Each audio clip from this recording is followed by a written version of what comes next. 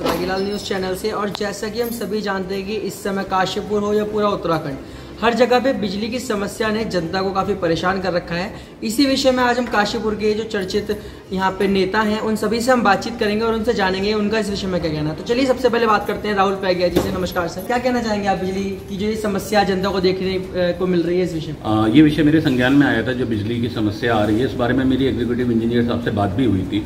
तो उनका ये कहना है कि चूँकि लाइन का ना ओवरहॉलिंग चल रही है अंडरग्राउंड केबलिंग हो रही है, जिससे कि लाइन लॉस कम हो सके और आगे आने वाले समय में हमें भरपूर बिजली मिल सके, इसलिए कार्य मरम्मत कार्य चल रहे हैं। इस वजह से फ़िलहाल ये एक टेम्प्रेरी इशू है जो बहुत जल्दी रिजॉल्व कर लिया जाएगा। ये मेरी उनसे बातचीत हुई थी। परंतु ये विषय अभी चूँकि इतना लंबा ये समस्या चल रही है तो इस बारे में मैं विधायक जी से तिलोक जी से भी मेरी बात हुई है और जल्दी इसका वो कह रहे थे, कोई ना कोई हम लोग समाधान प्रोवाइड करेंगे। बात तो ये है कि जो रोस्टिंग यहाँ चल रही है, वो बिजली वालों को ऑर्डर्स आए हैं देहरादून से।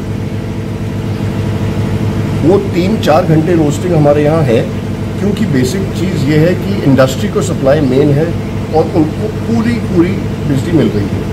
तो उसके कॉम्पनसेशन के लिए दो तीन घंटे की रोस्टिंग यहाँ पर होती होती है। दूसरी बात यह है कि इस मौसम में सबके एसी चल रहे हैं, वो हो रहा है दोपहर के टाइम तो ओवरलोडिंग हो जाती है, जिससे कट ऑफ़ लेना पड़ जाता है बिजली वालों को रिपेयर करने के लिए या उसे जो उस चीज़ में ज़्यादा तो कुछ कर नहीं सकते, ये चीज़ हमें देहरादून से ही होगी जो होगी।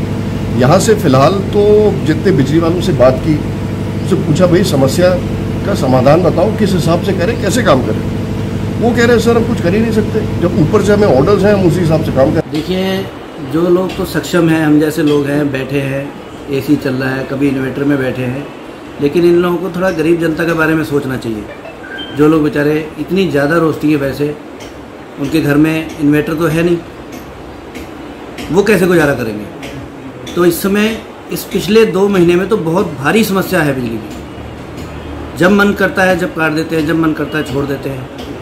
अब तो ये देखना पड़ता है कि बिजली कितनी बार छोड़ी, ये सोच के खुशी हो रही है, बल्कि कितनी बार काटी, ये सोचना भी, सोचना उल्टा हो रहा है बल्कि। देखिए, उत्तराखंड आज बिजली की कमी से त्राहिमाम त्राहिमाम है।